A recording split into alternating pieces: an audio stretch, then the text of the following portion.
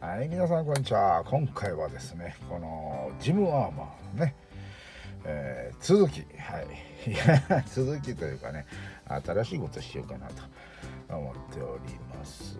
はい。何をするかと言いますとね、えーまあうちね常連さんに「えジムってお腹にコアファイター入ってるんですか?」みたいなね感じで言われましたのでここにコアファイターついてるのおかしいんじゃないかと。いうことをね指摘がありましたのでね、はい、じゃあじゃあ違うものをつけましょうかということで、はい、違うものを作ってまいります。はい。作るのはこちら。はいここら辺に写真が入れれたら入れときますね。はい。入ってる程度喋ります。はい。とりあえずねここっちはもうこれでいいんじゃないかという話でね。はい何をするかというとねこの FFX 7でしたかね、コアファイターの正式名称、ちょっとね、忘れましたけどね、そんな感じの名前だったと思います。えー多目的多目的戦闘機でしたけど、なんか、そんな感じのかっこいい名前ついてたような気がするんですけど、ちょっとね、宇宙もね、え体験内も行けるという感じのね、えー素晴らしい戦闘機ね、えー高性能のね、はい。えーまあ、でもね、はい。まあちょっと写真入れれたらね入れときますけれども。とりあえずね、はい、これまあまあなななんかこれっぽいやつみたいな感じでね、えーティンコット、はい、ティンコットを作りましたよ、はい、ティンコットアーマーになりますね、はい、ティンコットアーマー。ジムアーマー。ティンコットが先に先っちょにティンコットがついてるあーまあ G アマっぽいやつね。はい。はいだからここの先っちょにティンコットをつけます。はい。早速ね、やっていこうかなと思うんですけどね、これ,、まあ、これね、あの余ってたんでね、これ使いますよと。いうことでね、はい、B 使おうかな。はい、B ね。えこれね、えー A、B、12、えー 11B、12B って書いてあるね。こっちに 11A、12A って書いてあるんですけどね。B が、あ羽がね、えー翼が格納されてるバージョンの、えー、鉱物の頭なのでね、はい、割り作っていこうかなと思います。まあ、ここら辺はね、なんとなく似てるんで、そのまま作っていいかなと思うんですけども、ですね、多分ここを塞がない、まあ、削ってから塞げますかね。削ってから塞ぎましょうか。じゃあ、とりあえずこれ接着していきましょうかね、ということでね。はい。接着、接着していきますよ。ティンコットはね、あの、一応ティンコット作るっつってね、再生リストを実は作ってるんですね。はい。昔からね、なんかなんでか知らないけど、ティンコットっていうね、こう、惹かれるんですね。なぜかね。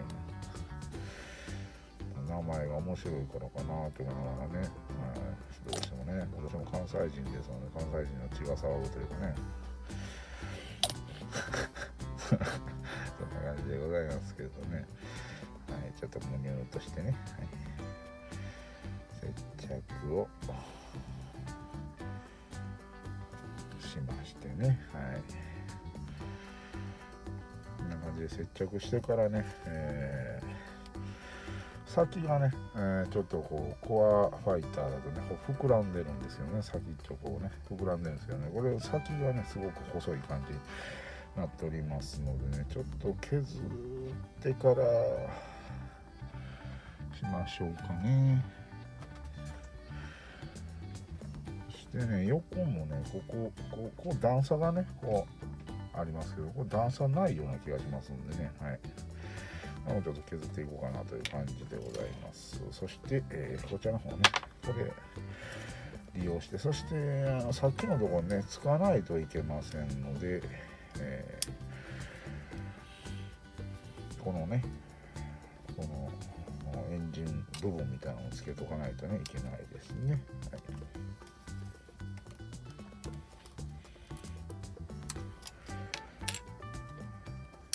なかなかね、あの、やはりね、人から指摘されないと作る気が起きないというの悪いですね。まあ、指摘来る前に作るようにね、しないといけないですね。はい。まあ見本の写真ね横で iPad で出してるんですけどここぶってあげるだけでいけそうな気がするんですけどもねはい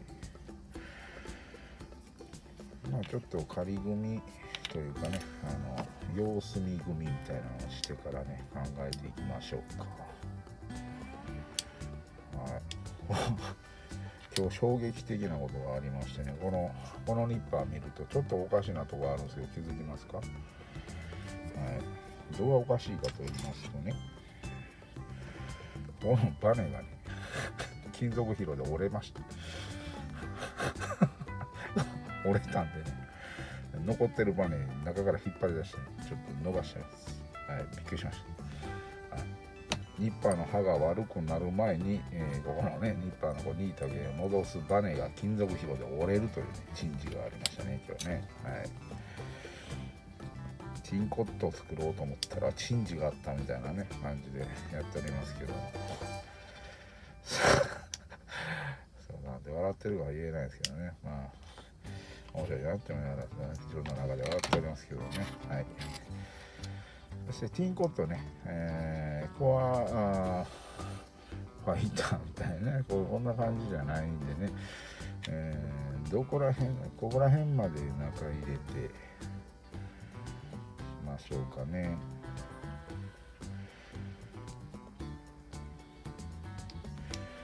かねあのバランスというのまあ日本通りに作るってなると多分ねあの無理なのかなって思いますね。見本というかね写真通りに作るっていうのは無理なのかなと思うんですね。それが結局絵を描く方がねあの航空デザインされてる方じゃないような気がするんですね見るとね。でエンジンエンジン2機に無理やり機種ついてるみたいな感じになってますんでね。それ制御するところどこなのみたいになるなりますしね、は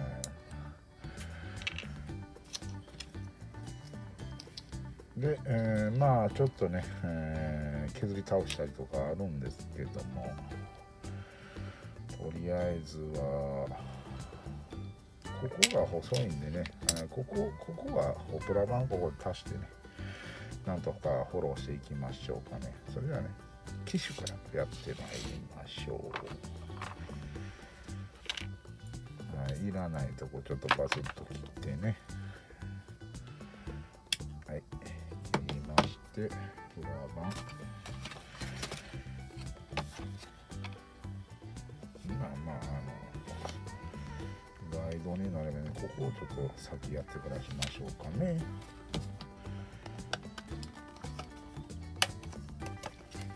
ンコットって、あの多分ガレージキットで売ってるんですけどもね、はい、それただ単に買って作ってもまあまあ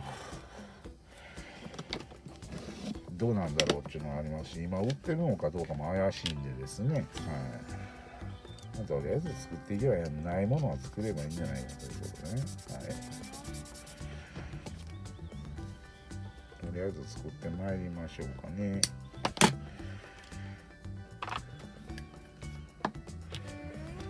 ま普通の方だとねここパテですると思うんですけども。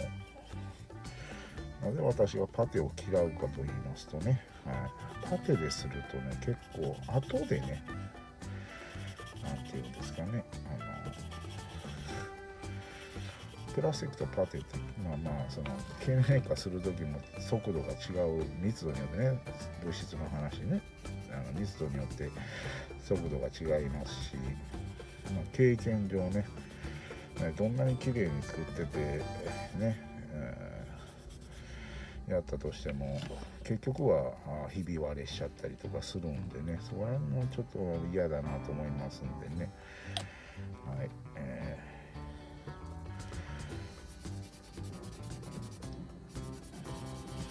ー、同じようなプラでねやればそれほど差が出ないのかなと思いますんで。でやっていこうかなと思っております。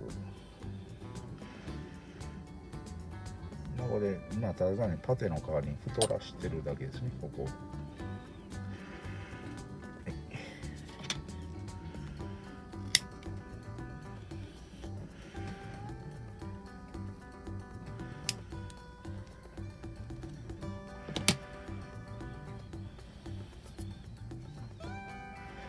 ちちょっとここね太らした方がいいでしょうから。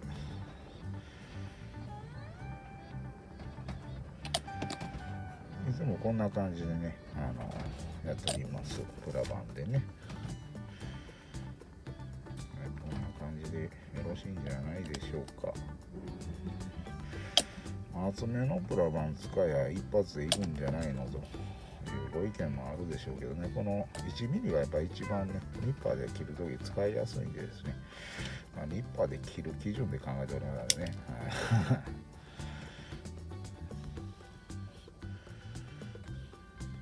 まこんな感じで乾いたら削ってねまっすぐするというような感じですかね。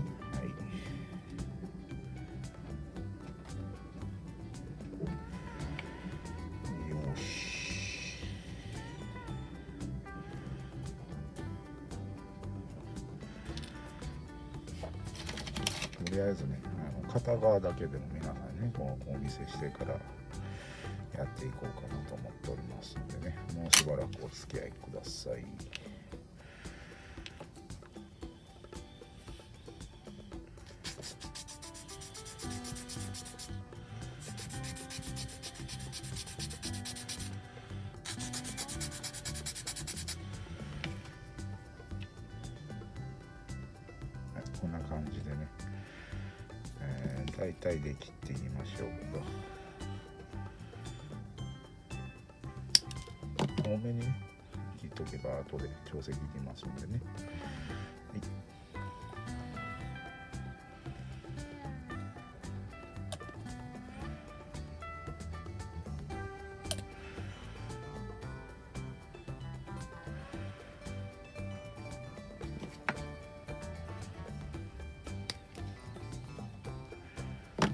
このね、えー、コックピットのところですね。大体でカッターで印つけて一回ねずらして2パで切ります。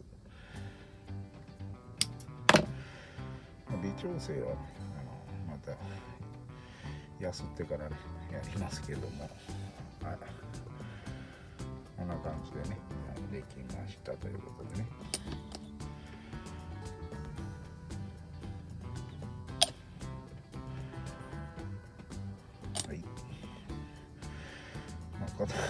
もうねプラ板で箱組みでせいやって多分思う 思うでしょうし私が見てたら多分思うんでね、はい、あのそんだけできないんだったら箱組みできるやろというご意見もありますでしょうけどね。簡単にプラモデルを改造する方法をね初心者中級者の方ができるような方法という感じでね動画作らさせてもらってますのでね、はい、ご了承ください。このぐらいでいきましょうか。はい、反対側もやっておきます。はい、またまたテンション上がってね、はい、動画撮るの忘れてやっておりました。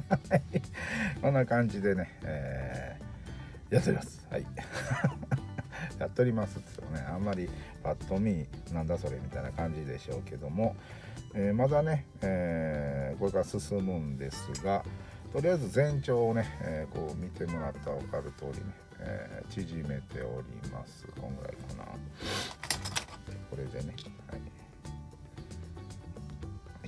感じでね、え全長を縮めております、うん、そしてねティンコットっぽい、えー、ティンコットはね多分制空圏内用の戦闘機だったと思うんですけども、まあ、宇宙用のね、えー、プロトタイプコアファイターぐらいで考えておきましょうかっていう感じでね 作りました。宇宙行かないとね宇宙用ですんでねこっちね。はい。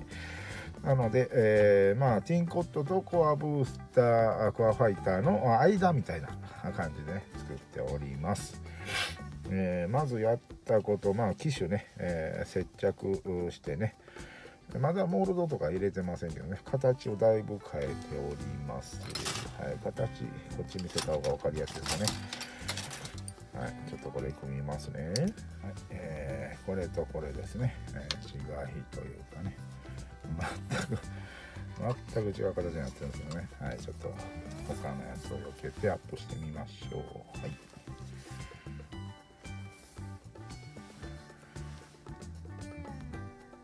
アップしすぎてちょっとピントがありません。はいこのぐらいでいいですかね。はいこんな感じでね、えー、削り倒しております。プラバン貼ってね、はい、もうもう原型がほぼほぼねない感じでございます。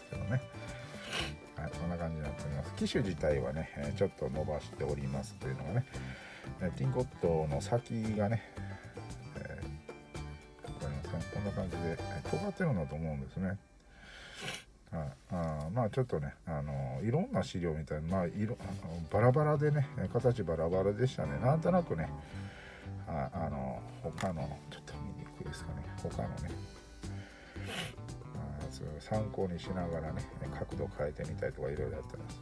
ということの先を問わ問われちゃいましたはいこんな感じで見えますかね見えますかね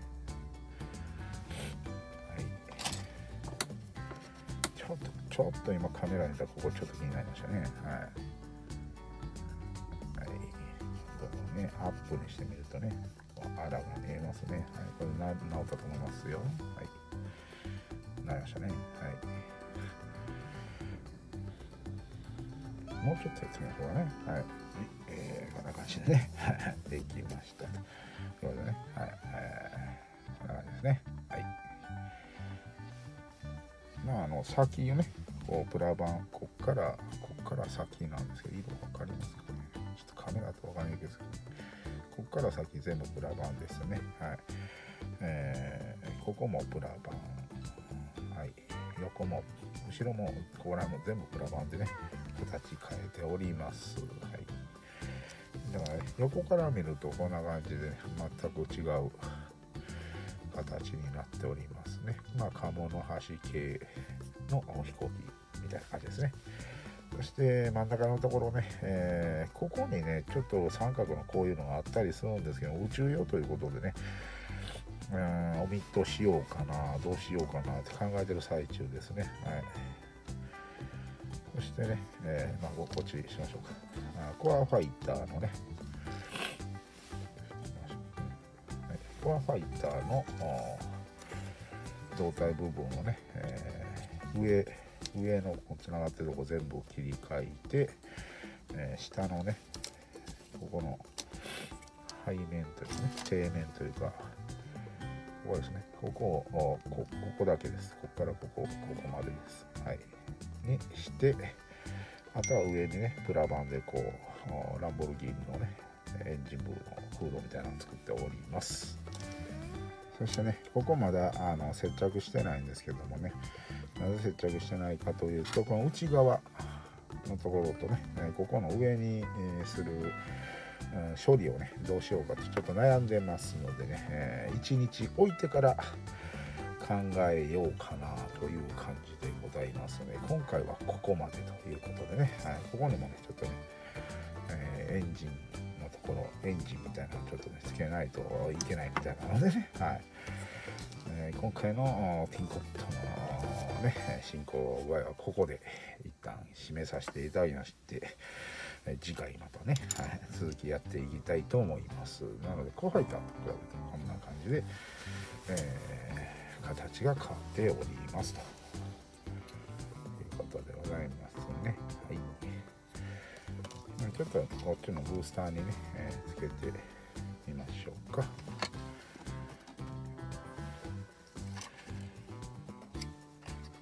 い。こんな感じでねおります。まああの羽も一応つける予定なんですけどもねこのディンクと、えー、ファイターこうやってつけるよりも若干短くなってるしスマートになってますんでね、え、それほど目立たなくなったのかなと思います。はい。まあ今回はここまでとさせていただきます。はい、えー、次回もよろしくお願いいたします。それではこの動画面白いと思われましたら、グッドボタン、チャンネルと Twitter の方、よろしければね、サブチャンネルもいたしております。今ね、えー、聖戦士ダンバイン、聖戦士伝説というね、シミュレーションゲームやってます。そちらの方もぜひ見ていただけたらと思います。それでは、さよなら。